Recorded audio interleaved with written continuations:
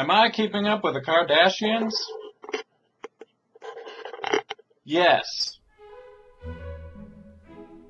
I have a message to the Kardashians. Shut up and take your shirts off. It's all you're really good for.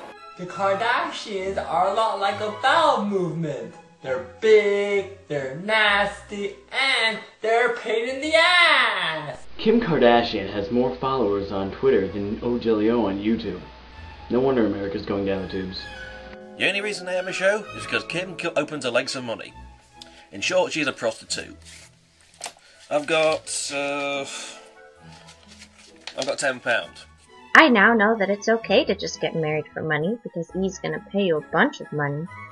And then get divorced 72 days later because you realize the guy you married is a stupid And then your rebound gets to be Kanye, who's also a stupid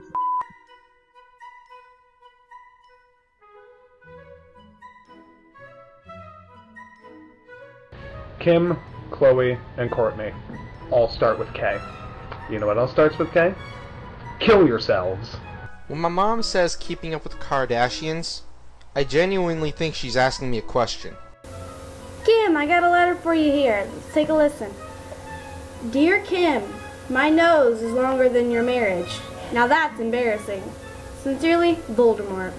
Kim Kardashian made $10 million off a 72 day marriage. How are gays ruining the sanctity of marriage again? What do all the Kardashian shows have in common?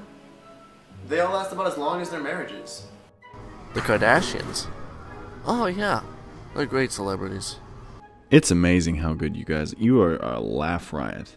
Anyway, thanks again for watching. Be sure to check out some of our other videos below or watch all the rebuttals if you can stomach it by clicking the Watch All Rebuttals button. Subscribe, follow on Twitter and Facebook.